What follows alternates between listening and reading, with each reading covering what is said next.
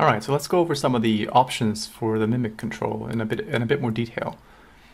If you go to the options box, you'll notice that there are a few um, checkboxes for you to tick. And let's just start by having none of these uh, and just see what we got. Uh, so in this case, you get a hierarchy, and it's only um, affecting the pose of the original hierarchy. But uh, the first thing you notice that you have these, you have two influences now. So this rigid here is being guided by both the new control that we make, uh, the new mimic, and also the original constraint that it already had on it. Because when you make a chain, you, you create these default constraints, uh, which try and sort of match the original pose and the original animation. Uh, so the first checkbox is actually to, to counteract that. So if I just undo that, and if I make another one, but this time I, I take the make exclusive, uh, which as the, the help below suggests that it disables any other constraints. So in this case, it will disable the constraints uh, from the original chain. So now this um, mimic will now do the same thing, but it will be the only one uh, affecting the joint chain. All right, uh, let's carry on. So the next one uh, adds a hard pin, and just like the, the regular hard pin, uh, it adds one for each of the controller, uh, each of the controllers in this chain. Uh, so you'll notice that now you have uh, an extra option here. Uh, on each of the Mimic controls, you have a hard pin attribute. It defaults to inherit, which means that it just uses whatever the root has. in this case, it's set to off. So if we set this to on, you'll notice that all of the rigids snap to this um, Mimic control. And then the same thing goes for, for each of them. So this is the same as hard pinning each of them. Uh, and this can be useful for, well, let's say this is the, the animation and you didn't want physics to actually start until later on. So let's say you go from here and at this point do a little twirl perhaps like that. Uh, and then you want a simulation to start say in the middle of this gun, uh, in the middle in the middle of this uh, motion here. Uh, so then you'd go hard pin off. So now it would inherit that motion from the hard pin. Uh, but then the question is, okay, you can transition out of animation into physics, but what about the other way around, right? That's the more tricky. That's the more tricky part, uh, and that's where the next checkbox comes in. So let me just undo this. If I have enough undos. Okay, there we go. So the next checkbox is to add a soft pin, which just like the, the normal soft pin, uh, it just adds a soft pin to each of the Mimic controls. So uh, like before, you get the default pose constraints and they are exclusive.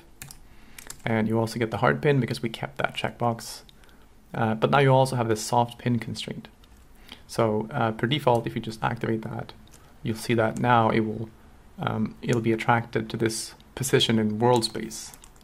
So it'll pin this to wherever your mimic control is uh, in world space. And if we just reduce the damping, we can see how it can be like a bit of a jiggly follow, follow if you want.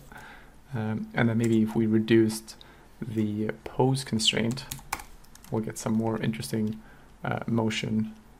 Uh, let's see, not the pin on this one. Something like that. Uh, and so if you wanted to transition back into physics, let's, let's try that. I'm going to remove the pin and let's start let's start with a hard pin uh, and then I'll animate say to here um, let's do something like this I'm just gonna eyeball this so we'll do something like that and then here, maybe we'll do this. All right, so now it'll, uh, I want it to sort of fly up.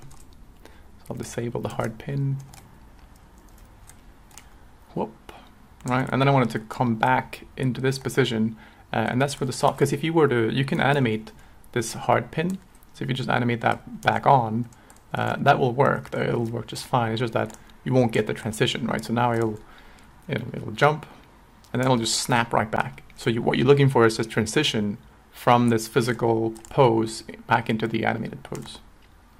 And so if I were to undo that, and instead of using the hard pin to transition back, I'm going to use the soft pin. So I'm going to do it on all of them at once. So from here to say, uh, almost to here. Uh, so this is kind of an extreme post because it actually flipped 180, but it just still work. Um, so now it'll go from down there back to, to up here. Uh, I guess let's make it a little more practical uh, by just re reducing the, by making this, this flip a little less extreme. So the flip comes from uh, these keys right here. So I'm just going to reduce the amount of flipping that it does. Uh, maybe that's too conservative. so it goes down, lands on the floor, and then go, comes back up. Uh, so at this point, now you've transitioned from animation into physics back into animation, but it's kind of, it's not accurate, it's not entirely overlapping, right? Because uh, even though it's being attracted in world space, there's still gravity. So you can either disable gravity, like you can animate it off, uh, or what I like to do is just use the fact that this is quite of a fast motion and just say that, well, I want at, say, this frame, this is the last uh, transition frame. So from here, I want to go entirely into animation. So now it's going to transition up, whoop, and you know, and if you do get a pop, like this is something that you can tweak. Um, for example, you could make the damping uh, a bit less so that it transitions sort of quicker into the uh, the pin pose. Uh, so let's try that. This is uh, very tweakable and very subjective, and also depends on the motion. Maybe your motion isn't this fast. Like when you're lucky enough to have a fast uh, motion. Oh, that's probably way too much. Uh, let's say half of what it was. Yeah, so something like that. So now you have a tr transition back into animation uh, because this, this is not entirely animated and doesn't really need to respect the laws of physics anymore. All right, let's have a look at the next checkbox. Uh, so you notice that when I keyed the um, soft pin, I had to do it on each of them, uh, uh, you know, each of them individually. Uh, but that's what the multiplier is for. So just like a regular chain, uh, the the root control will have this sort of multiplier, which is affecting all of the uh, all of the rigids, all of the constraints at once. So I'll just add that here as well. Uh, selecting the root, there we go. Uh, so now you get these two new nodes here, one for the pose and one for the pin.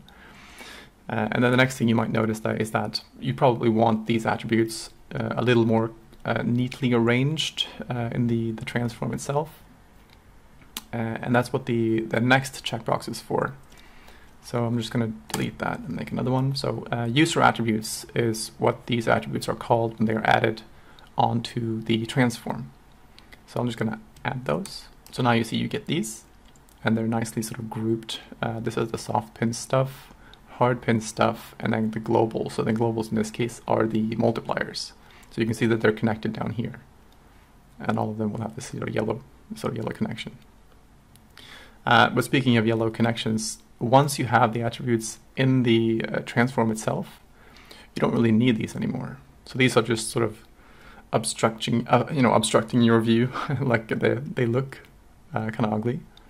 Uh, so that's what the, the next checkbox is for. So I'm going to delete this one more time and clean the channel box and that will now give you a clean hierarchy uh, of controllers uh, along with a clean look in your channel box as you uh, as you animate. Uh, and finally, to make things the most clean, uh, is that you notice that you also have these values here, and they are the original control values. So depending on how your controls are set up, if they are uh, if they are zero already in, in sort of their T-pose default pose, then they would be zero here as well. But if they're not, uh, which you know which might be the case, then you can also choose to freeze the transforms. And that again will create uh, a hierarchy. It will be clean. In this case, all of the values will be zero. So if you were to go and uh, you know go crazy, then if you were to zero these out, you know that they will return to its original pose.